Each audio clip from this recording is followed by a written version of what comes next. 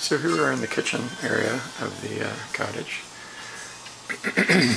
My grandparents' uh, lovely mid-century table that folds out to seat a multitude, a veritable multitude.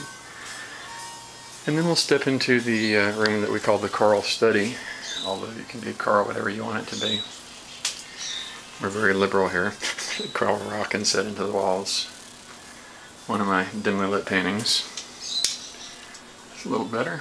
And uh, an old 1930s hurricane door, because they had no advance notice in those days. And it's a lovely room. Leads out to the garden.